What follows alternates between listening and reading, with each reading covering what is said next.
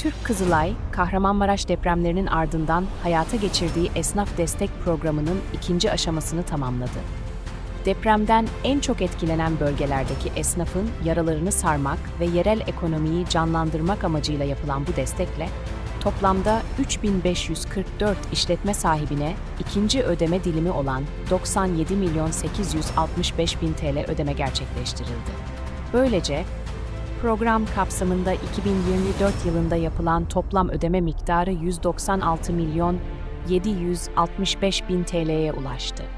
Adıyaman'da 550, Gaziantep 215, Hatay'da 1478, Kahramanmaraş'ta 583, Malatya'da 562, Osmaniye'de 156 olmak üzere Esnaf Destek Programı'nın ikinci fazından yararlanan toplam 3544 işletme sahibi tesisatçılıktan pastaneciliğe, kuaförlükten terziliğe farklı iş kollarında faaliyet gösteriyor.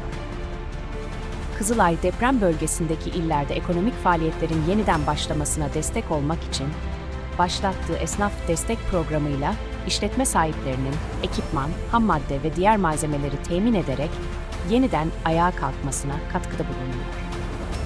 Program, özellikle engelliler, kadınlar ve yaşlılar gibi hassas gruplara öncelik vererek toplumun her kesiminin ekonomik iyileşme sürecine dahil olmasını amaçlıyor.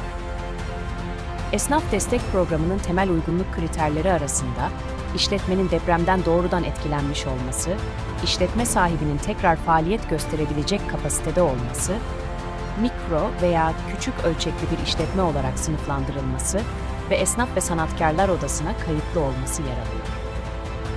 Programın ikinci fazı kapsamında bu şartları sağlayan tüm esnafa ilk ödemeler geçtiğimiz Haziran ayında yapıldıktan sonra gerekli belgeleri ibraz eden esnafa planlanan ikinci ödemeler gerçekleştirildi.